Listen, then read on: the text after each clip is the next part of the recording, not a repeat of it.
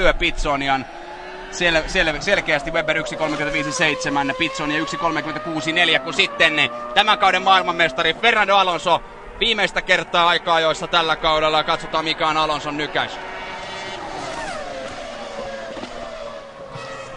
Sieltä on Alonso lähtenyt jo omalle kierrokselleen. Renaultille on tarjolla heidän kaikkien aikojen ensimmäinen valmistajien MM-sarjan mestaruutensa. Moottorivalmistajana he ovat olleet voittamassa mestaruuksia vuosina 92-97. Alonso teki myöskin hienon kilpailun tuolla Japanissa. Hän ohitti 17 autoa vai kerran. Nyt mennään kovaa.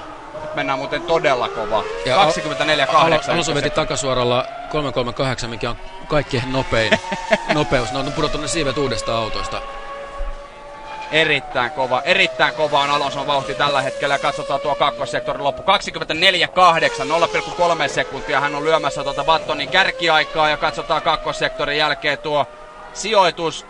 Onko se ero pysynyt, onko se kasvanut, mikä on tilanne, sitä on tullut vähän jopa lisää. Tasan 40 Alonso ja Battonin välinen ero tällä hetkellä. Alonso siis ohitti Japanissa 17 autoa, vain kerran Formula 1 historiassa on nähty kisa, jossa voittaja ja kakkonen ovat molemmat startanneet ruutua 15 huonommista asetelmista ja tuo tapahtui vuonna 1983 Long Beachissä.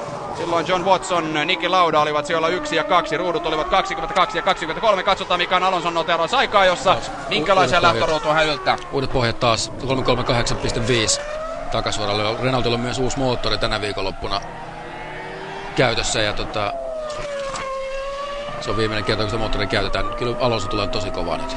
Aivan hirvittävä on Alonson kyyti tällä hetkellä. 70 turvin kärkeen. Huippunopeus 338,5. Se on aivan järkyttävää.